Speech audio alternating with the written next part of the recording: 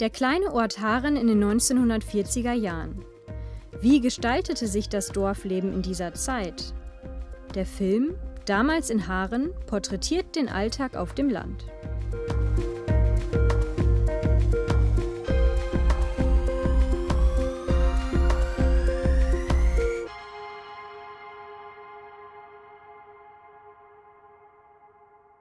Könnt ihr euch vorstellen, mit einer solchen Sense ein ganzes Feld zu mähen? Wohl kaum. In den 1940er Jahren sah das anders aus. Zwar kamen schon frühe Mähmaschinen zum Einsatz, mancherorts war aber noch Handarbeit gefragt. Der folgende Dokumentarfilm setzt nicht nur die kräftezehrende Feldarbeit der 40er Jahre, sondern auch den Alltag der Menschen auf dem Land in Szene. Aufnahmen von Josef Spenner dienten als Grundlage für den Dokumentarfilm. Der Amateurfilmer hat das Leben in seinem Heimatort Haren im Paderborner Land über viele Jahre hinweg dokumentiert, so auch während und kurz nach dem Ende des Zweiten Weltkriegs.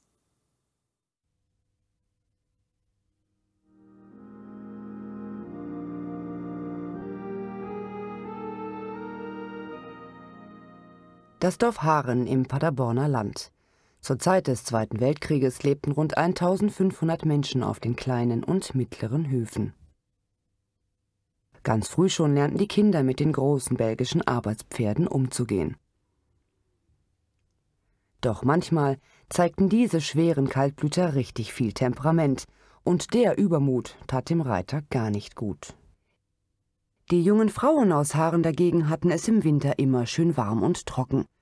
Denn dann ging Frau in die sogenannte Nähschule. Hier lernte sie alles, was damals zu einer kompletten Haushaltsführung gehörte. Unterrichtet wurde von den Schwestern des Franziskanerordens. Sie waren erfinderisch und wussten, wie man auch mit wenig Mitteln noch etwas Nahrhaftes auf den Tisch bringen konnte. Doch dann, nach Schule und Arbeit, hatte man auch in Haaren seinen Winterspaß. Im frisch gefallenen Schnee, auf den Wiesen am Rande des Ortes, ließ es sich herrlich rodeln und toben.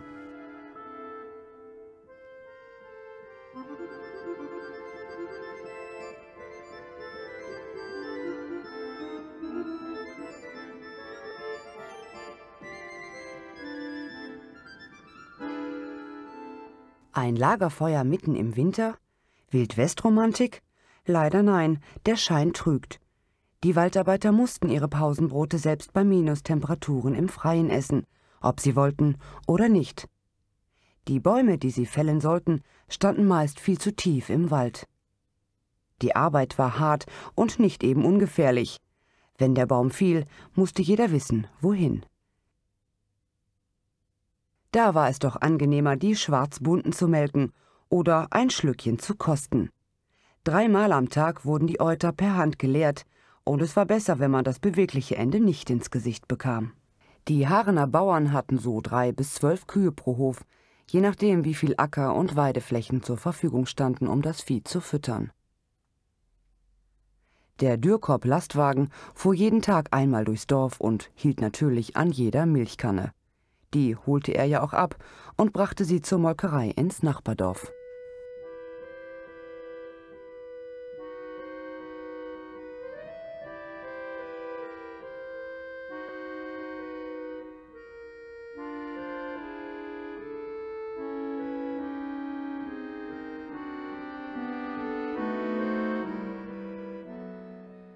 Als erstes musste geprüft werden, ob die Milch noch frisch war jede Kanne einzeln. Nur eine saure Ladung dazwischen hätte viel verderben können. Die Milch wurde ja zur Verarbeitung in großen Bottichen zusammengeschüttet.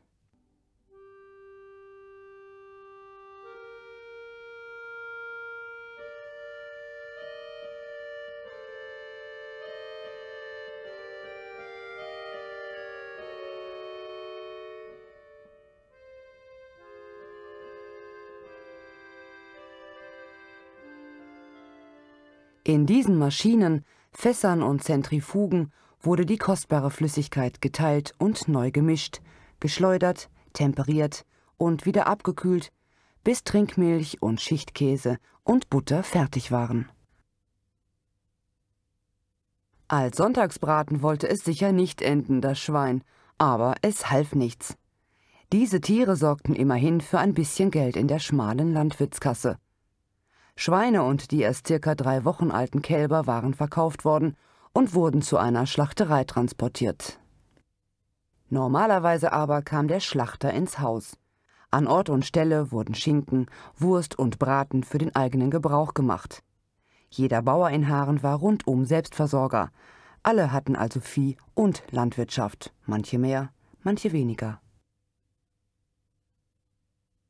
Genügend Steine gab es auf jeden Fall, am Ziegenberg im Tudorfer Wald. Da, wo tatsächlich ehemals Ziegen gehütet worden waren, brachen nun starke Männer den Kalkstein in handliche Brocken. Mit dem Trecker, der im Krieg mangels Dieselöl mit Holzgas betrieben wurde, holten die Arbeiter eine Fuhre nach der anderen aus dem Steinbruch. Im Straßenbau für Häuser und Scheunen brauchte man den Stein. Ganze Kirchen sollen daraus erbaut worden sein.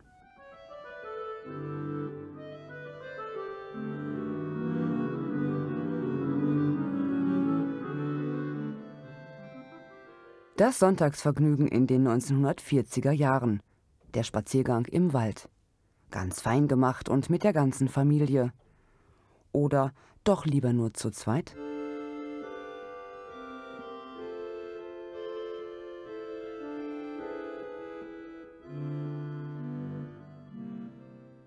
Am nächsten Morgen jedoch, da ging die Arbeit wieder los. Um vier oder fünf Uhr früh aufstehen, das Vieh versorgen, frühstücken, dann aufs Feld. Dann war das Aussehen dran, schön gleichmäßig, mit nicht zu viel Schwung und hoffentlich ertragreichem Saatgut. Denn schon von der Aussaat hing ja die Ernte und damit die gesamte Existenz ab. Doch der Mensch lebt nicht vom Brot allein. Wer im Herbst Kartoffeln ernten wollte, musste im Frühjahr viele Furchen in den schweren Lehmboden auf dem Acker ziehen. Zur Belohnung war schon mal Zeit für ein Pfeifchen.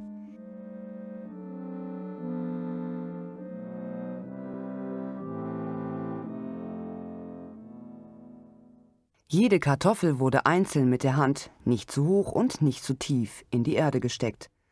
Tage und Wochen dauerte es manchmal, bis die Familie mit ihrem Acker fertig war.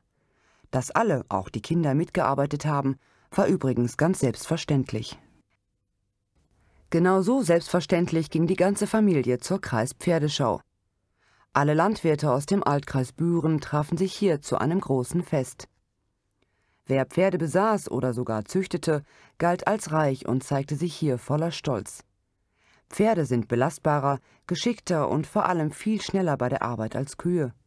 Aber eben auch teurer. Viele Hofbesitzer konnten sich nur Kühe leisten. Sie blickten sehnsüchtig auf das eine oder andere Kaltblut, das von Fashion Jungs präsentiert wurde und vielleicht sogar hier den ersten Preis bekommen hat.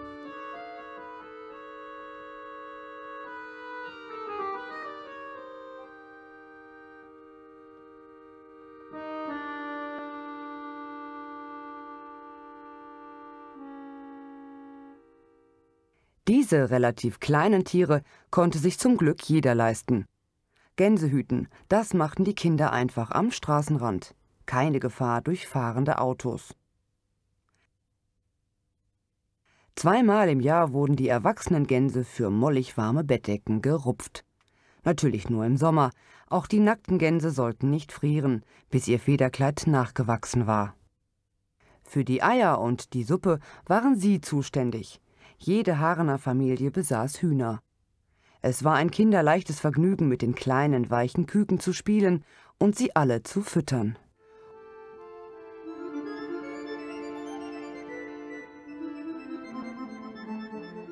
Und wenn es noch so viel war, die Bauern waren froh über jede Fuhre Mist, die auf dem Hof zusammenkam.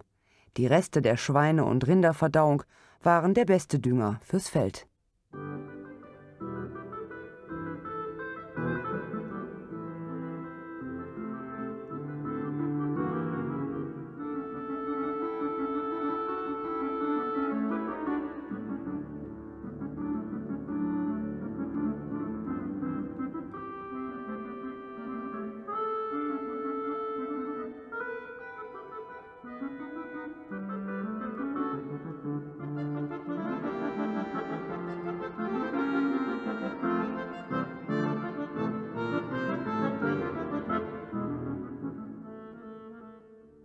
Mit einem speziellen Misthaken wurde der Dunk vom Wagen gezogen und erstmal auf kleine Haufen verteilt.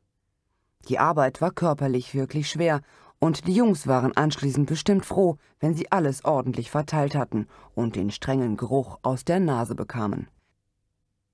Vielleicht war schon das ein Anlass zum Feiern. In Haaren wurde gerne gefeiert, und wie man sieht, hatte sich hier eine richtig lebensfrohe Runde zusammengetan.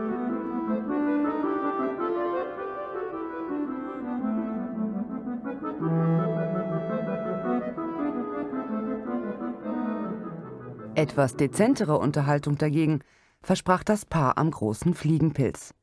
Die Kulisse war eine von vielen, die im Dorf für die unterschiedlichsten Anlässe selbst gemacht worden waren. Diese stand manchmal im Wald, und dann wieder hatten die Kleinen ihren ersten großen Auftritt davor.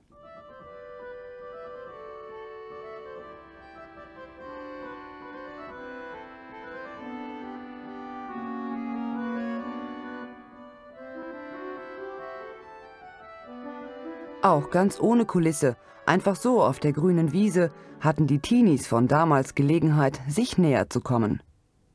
Tanzspiele machten sowohl Mädchen als auch Jungen gerne mit.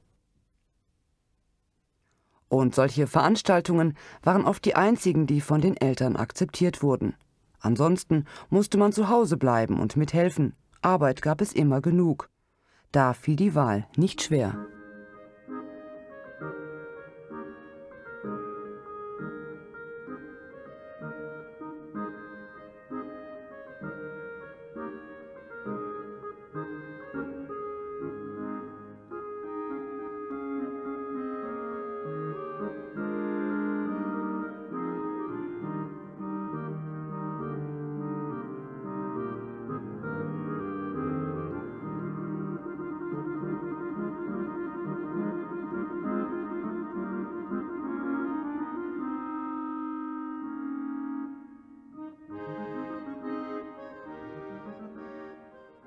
Die Kleider sind als Theaterkostüm in der Nähschule geschneidert worden.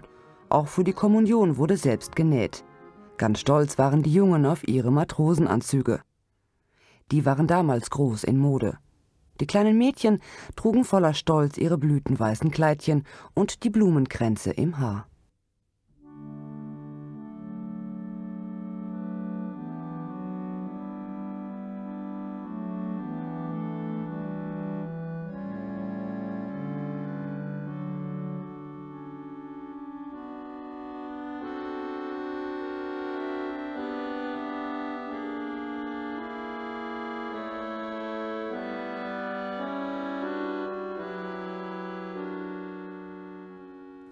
Ein sogenannter Fürengel begleitete die Kinder zum Altar. Hier bekamen sie ihre erste Hostie, die Oblate. Damit waren sie vollwertige Mitglieder der Kirchengemeinschaft.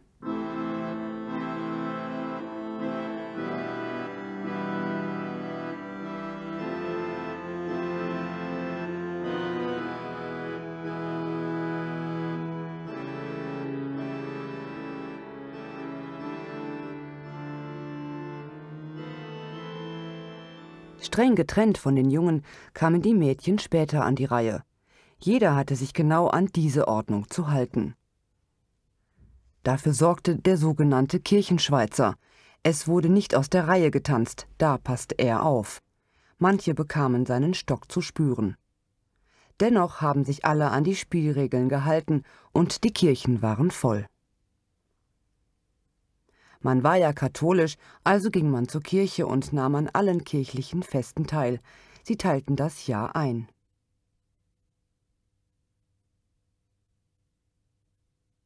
Und dort konnte man Bekannte treffen, die man vielleicht lange nicht gesehen hatte. Ohne Telefon, E-Mail oder Auto waren Entfernungen viel schwieriger zu überwinden als heute.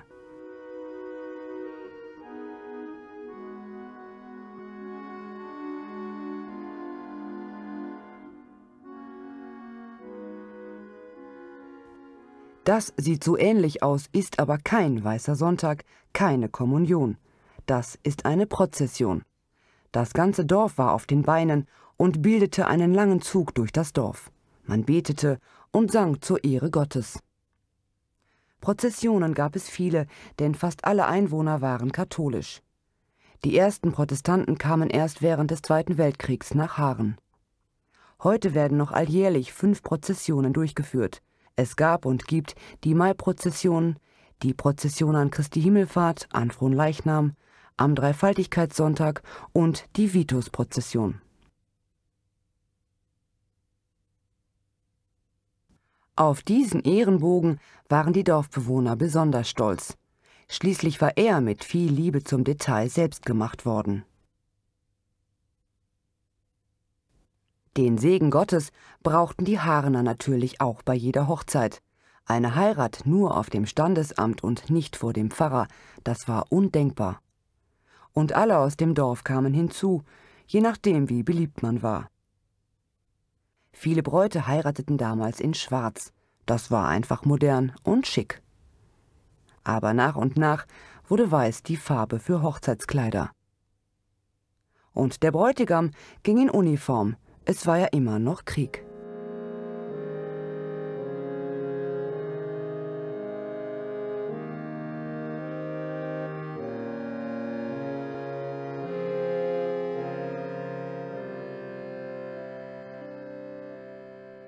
Die Kinder balgten um Bonbons, eine seltene Köstlichkeit. Und dann der Brauch. Das Paar verlangte Einlass zu Haus. Mann und Frau mussten sich einen Schnaps teilen, das Glas zerschmettern und dann einen gebackenen Krängel brechen. Wer das größere Stück behielt, hatte angeblich in der Ehe die Hosen an. Auf eines aber mussten viele Brautleute verzichten, die Kirchenglocken. Erst 1947, also zwei Jahre nach Kriegsende, wurden die drei neuen Glocken ins Dorf gebracht und mit einem großen Fest eingeweiht. Einige Jahre hatten sie überhaupt nicht geläutet. Die alten Glocken waren im Krieg als das Material knapp geworden war, für die Rüstungsindustrie abgeholt und eingeschmolzen worden. Aus den schweren Klangkörpern, die jeden Tag vor den Gottesdiensten geläutet worden waren, wurden Geschosshülsen und Granaten angefertigt. Jetzt hatten die Arbeiter ihre liebe Not, die neun, zwölf und vierundzwanzig Zentner schweren Glocken in den Turm zu ziehen.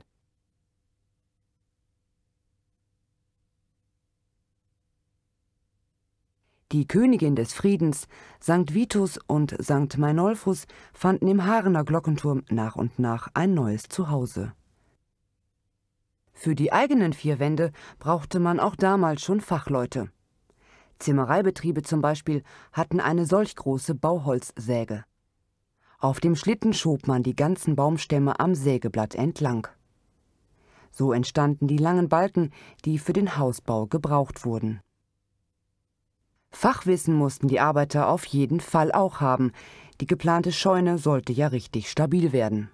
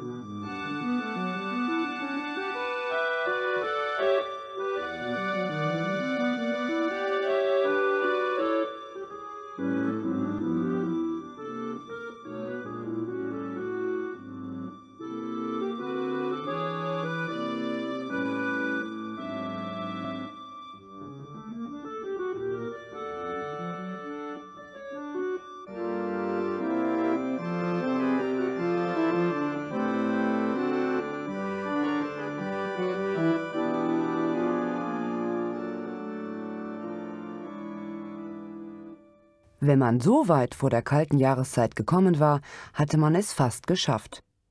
Spätestens jetzt waren zusätzlich Nachbarn und Freunde willkommen.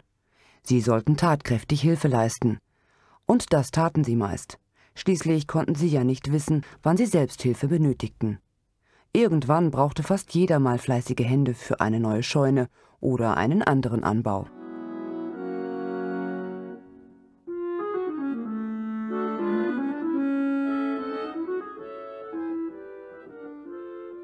Und dann die Zeit der Ernte.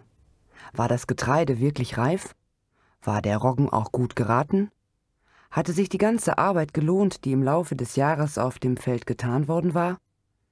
Das Pflügen, Säen, Pflanzen und Düngen, alles war Vorbereitung für die Ernte gewesen. Und jetzt sollte es sich zeigen. Mit der Sense zu mähen, das war die mühsamste Art, das Korn zu schneiden. Und auch die Gaben einzeln mit Stroh umwickeln und zum Trocknen aufstellen, war schwere körperliche Arbeit, die dennoch viel Gefühl erforderte. Zum Glück brachte die technische Entwicklung nach und nach passende Maschinen auf den Markt.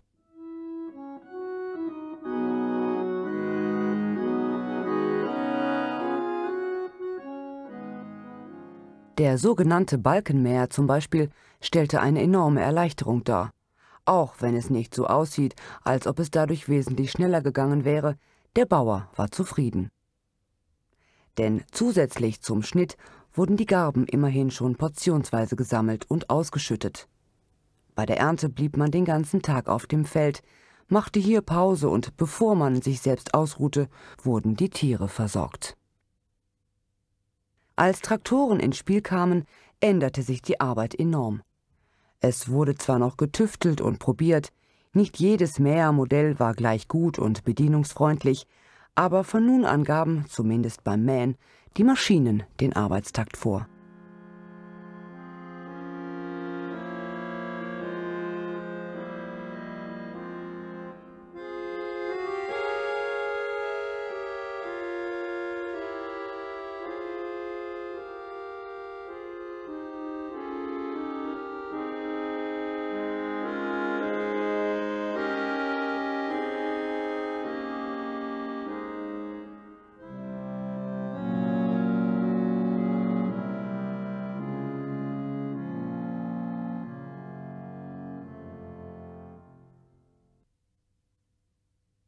Ein Ungetüm, diese Riesendreschmaschine, aber leistungsstark.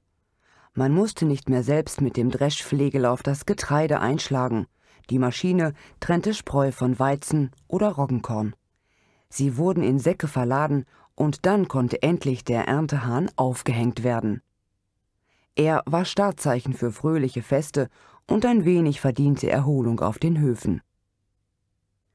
Vor rund 60 Jahren wurden alle diese Bilder gedreht. 60 Jahre, das ist nur ein winziger Moment in der Geschichte, aber in der Erinnerung eines Menschen sind 60 Jahre fast eine Ewigkeit.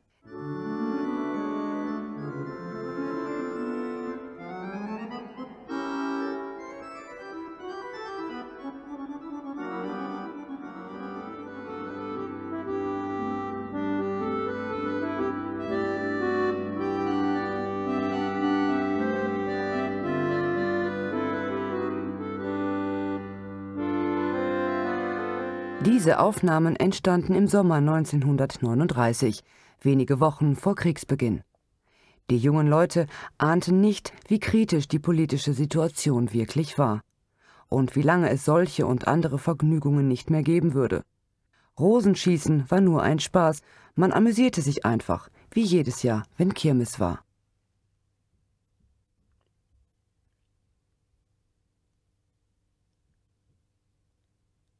Die Kleinen fuhren stolz ihre ersten Runden, und auch die Großen erlagen dem Reiz der bunt bemalten Pferdchen.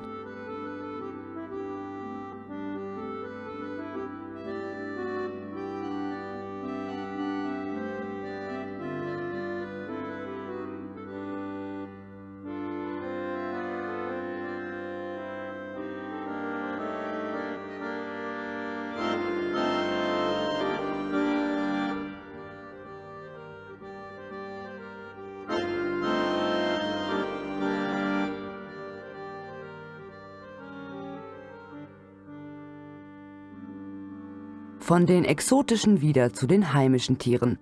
Die starken Rückepferde beherrschten nämlich auch richtig gute Kunststücke. Wie hätte man sonst die Baumstämme als Ganzes aus dem Wald gekriegt? Einen ganzen Tag brauchten die Arbeiter manchmal nur für das Aufladen und den Transport der langen, schweren Stämme.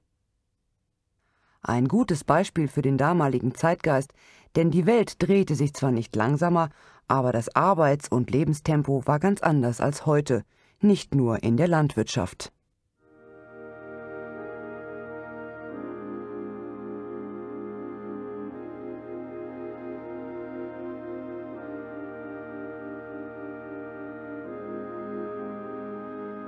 Hier können wir den vielen kleinen Arbeitsschritten eines Stellmachers zusehen, wie er aus dem Holz, das eben noch im Wald war, ein großes Wagenrad herstellt.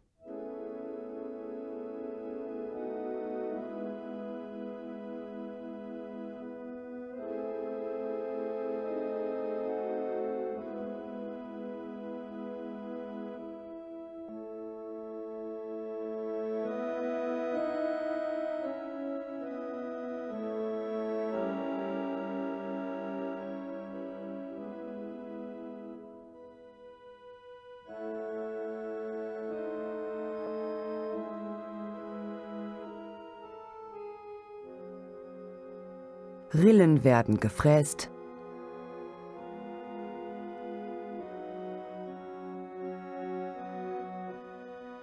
Löcher gebohrt und dann zu einem Schlitz verbunden, damit man eine Speiche hineinstecken kann.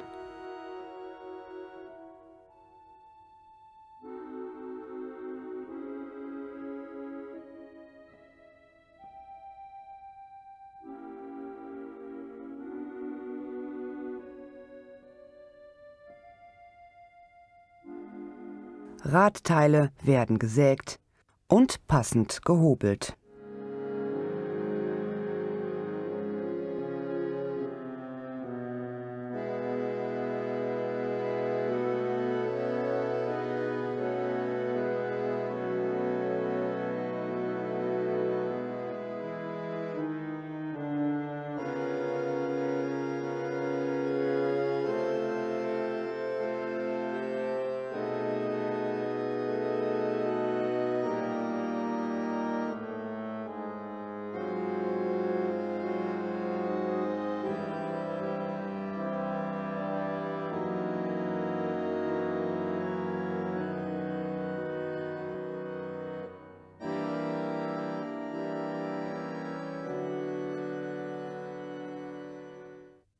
So aufwendig war es damals, ein kleines Loch für eine Eisenbuchse in das Holz zu drehen. Ohne computergesteuerte Maschinen brauchte man eben zwei Männer mit Muskelkraft.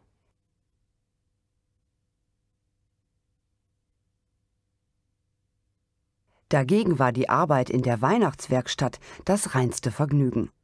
All die zukünftigen Geschenke, die hier entstanden, erinnerten ja schon während des Arbeitens immer ein wenig an die schönsten Tage des Jahres.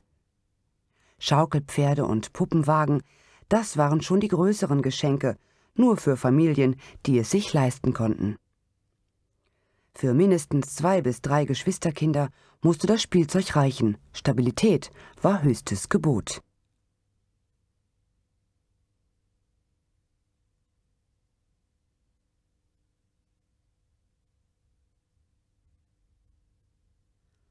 Und damit dem Pony beim Toben nicht der Schweif abfiel, wurde auch er fachgerecht befestigt.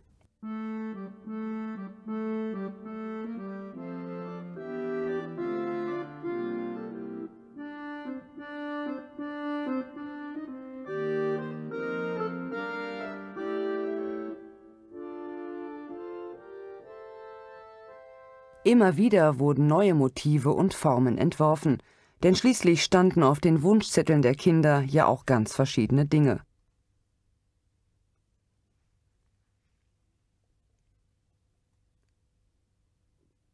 Aber erst musste noch die Sache mit dem Nikolaus und seinem schwarzen Knecht hinter sich gebracht werden.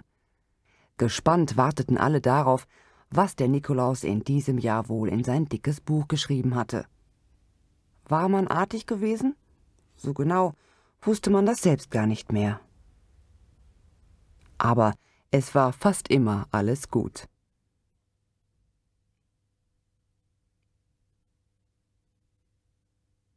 Die beiden Wintergesellen bekamen ein Ständchen zu hören und dann, ja, dann wurde zu Hause Bescherung gefeiert. Die Geschenke waren in den Kriegsjahren nicht gerade üppig, aber es wurde trotzdem oder gerade deshalb sehr viel Wert auf ein schönes Weihnachtsfest gelegt.